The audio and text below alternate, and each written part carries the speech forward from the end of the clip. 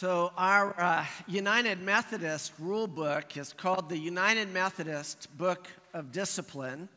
And uh, did you know that in this book there is a full paragraph that addresses eligibility for membership in a United Methodist church? Did you know that? So, uh, let me read most of this paragraph for you. Uh, Got to get there. The United Methodist Church is part of the Holy Universal Church as we confess in the Apostles' Creed. All people may attend its worship services, participate in its programs, receive the sacraments, and become members in any local church in the connection. Did you catch who's not eligible? I hope not, because it says all. It says all people may attend worship, participate in our programs, receive the sacraments, and become members of the local church. So that sort of begs the question if we are that inclusive, if anyone can attend worship, if anyone can participate in the programs of the church, if anyone can receive the sacraments and become a member of the church, well, what's the point of joining the church? Well, there is one thing that changes when you become a church member in the Methodist Church. As a member, you are entitled, are you ready? You are entitled to serve on a church committee. a real privilege, right? Uh, the Reverend Michael Slaughter, who uh, was the former pastor of the Ginghamsburg United Methodist Church in Ohio, would tell people who were uh, participating in membership classes, he'd say, You may not want to join because the moment you join, you are no longer a guest, you are staff. and, and the difference, he says, is that a guest is focused on what they get from the church. Well, a staff member is focused on what they give to support the mission and ministry of the church, while at the same time making a commitment to grow in faithful discipleship. And so Ginghamsburg had uh, additional discipleship standards. And in, interestingly, uh, Ginghamsburg had about 90 worshiping members when uh, Reverend Slaughter uh, was appointed there in 1979 with a promise from his bishop that if he did a good job, he would be moved to a bigger church. Well, Slaughter never left. And when he retired a few years ago, the worshiping congregation averaged between four and 5,000. And I suspect one of the reasons that Ginghamsburg grew from 90 to 5,000 in worship is the same reason that the Methodist movement took off in the 1700s. It was uh, because they realized that a life of faithful discipleship requires a supportive community. It's not just showing up for worship. And that our Christian walk is better when we do it together. As John Wesley uh, designed the Methodist societies, members were to meet together to, quote, watch over one another in love. That was John Wesley's phrase watch over one another in love.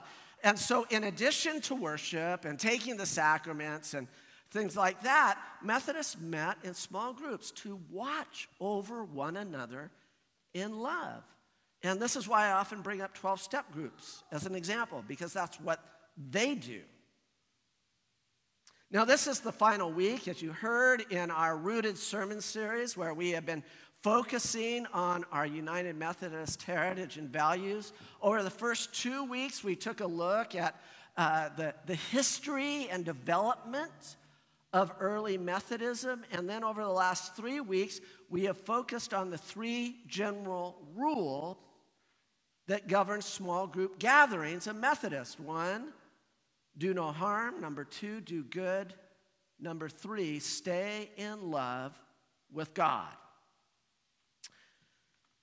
It was the practice of watching over each other in love as we lived out these three rules that Wesley be, uh, believed gave life to the Methodist movement. Wesley did not believe that individuals on their own could succeed in fruitful Christian discipleship wasn't a do it yourself thing. And, and Wesley used a, a term, he, it was social holiness, to make the point that Christians could grow in community only with other Christians. And so uh, Wesley's statement was this He said, The gospel of Christ knows no religion but social, no holiness but social holiness. And, and sometimes Methodists make a mistake in thinking that he means social justice uh, or creating social, uh, ju- socially just structures in our society. But that's not what he meant. We certainly do seek that, but what he meant was you got to be together to do this Christian thing.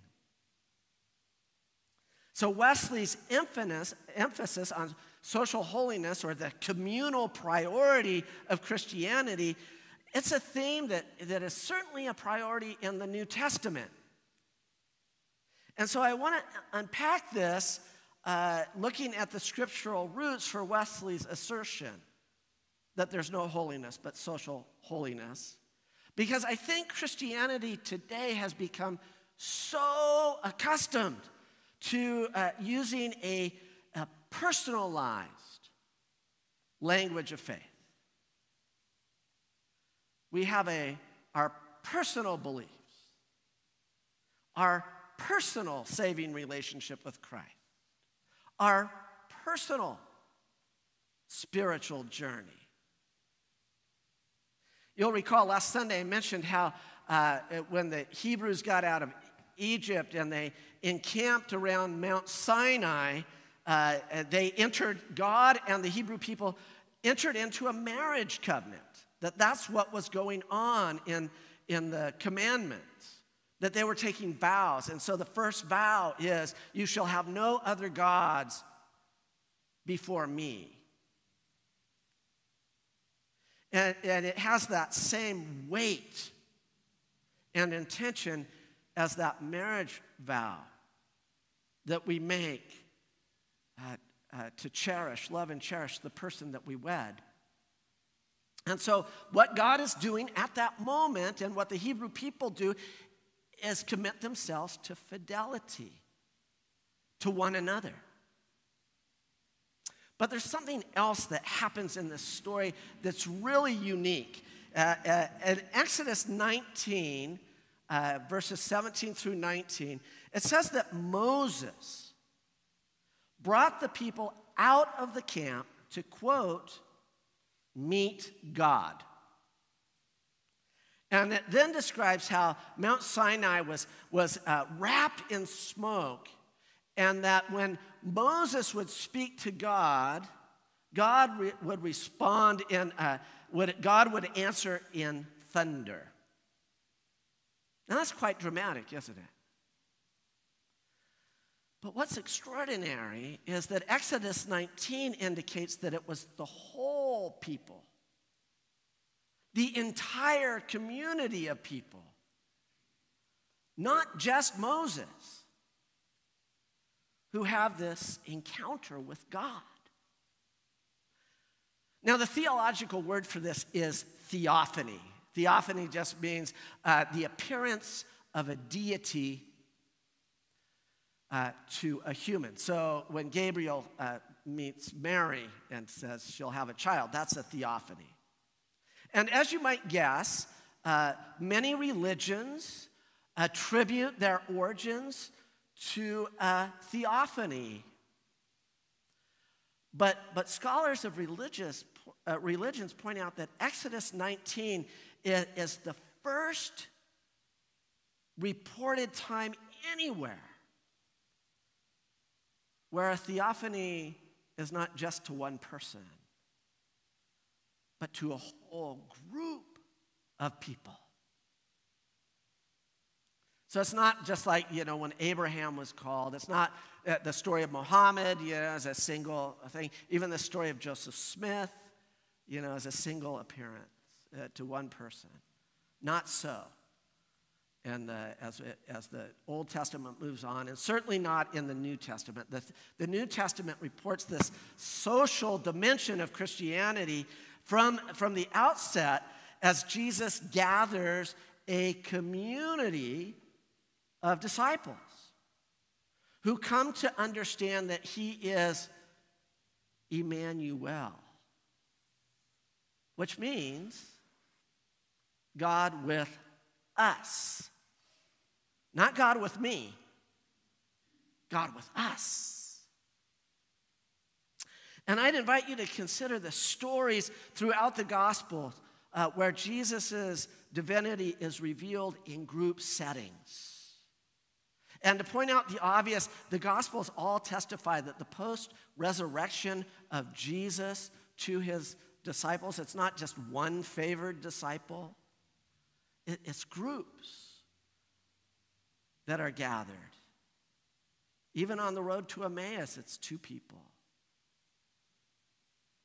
Uh, a friend had, had, said something to me that I really had not uh, previously noticed, uh, but he said that uh, anytime God is said to be moving in Scripture, God is moving people closer to God and closer to each other. So, this is one of the ways we can see, you know, false uh, sort of movements because if, if uh, there are Christian groups and other groups that are telling you, no, you're, uh, you know, we have to divide ourselves up so we can be closer to God and not them. Well, that's not the biblical story. God is always moving people closer to God. Finally, in Romans 12 and in other letters too, the Apostle Paul makes this communal nature of our faith and discipleship explicit. Uh, how much more uh, clear could it be than verses 4 and 5 in our reading? For as one body have many members, and not all members have the same function, so we, who are many, are one body in Christ, and individually we are members one of another. So I could draw on many more scriptural uh, uh sources to demonstrate that this uh, Wesleyan view that there is no so- holiness but social holiness is entirely consistent with Scripture. Uh, Wesley knew that when Christians go it alone, uh, we are treading on dangerous ground.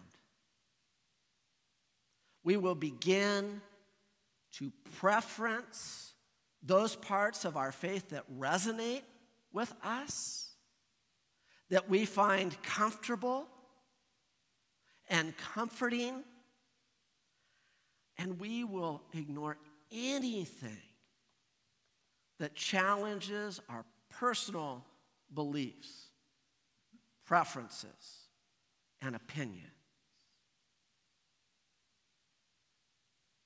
I don't think Jesus made a lot of people comfortable.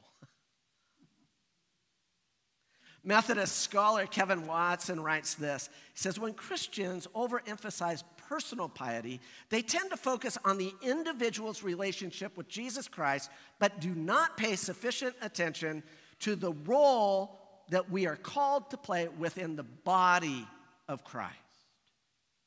On the other hand, those within the church who have focused on the importance of works of mercy and social justice have often overemphasized mercy, while underemphasizing the importance of a growing relationship with God in Christ.